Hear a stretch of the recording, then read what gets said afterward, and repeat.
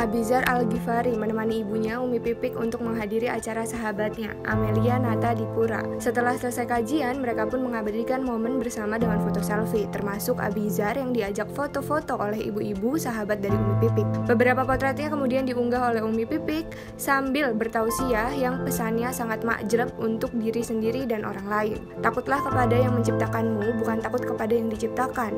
Jika itu terjadi, akan tercipta suasana yang tidak menyenangkan. Jangan takut kehilangan pekerjaan, tapi takutlah jika pekerjaanmu justru menjatuhkanmu dari sang pemberi rezeki. Takut untuk urusan syariat bagus, tapi jika takut urusan yang lain, maka di situlah letak kehinaan kita. Tulis Umi Pipik pada postingannya Selasa 18 April 2023. Di akhir captionnya, Umi Pipik mengucapkan terima kasih serta menyanjung si pemilik acara yakni Amelia Nata Dipura. Silaturahmi at misters.hrd.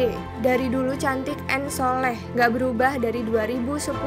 Dia ngaji ngaji di majelisku di rumah yang dulu. Kebakar barakallah fi umrik neng pungkasnya. Namun beberapa netizen malah dibuat salah fokus melihat potret Abizar di antara para emak-emak. Ini karena wajahnya menjadi beda akibat saat foto emak-emak menggunakan filter beauty. Salfok Abizar kok cantik ya komentar netizen. Umi itu Abizar jadi ada efek cantiknya celutuk netizen. Abizar 73 jadi cantik banget kata yang lain. Jadi dandan anaknya celetuk lainnya. Kak Abi jadi cantik Umi timpal lainnya. Namun melihat komentar nyeleneh netizen netizen seperti di atas Umi Pipik hanya membalas dengan emoji ngakak.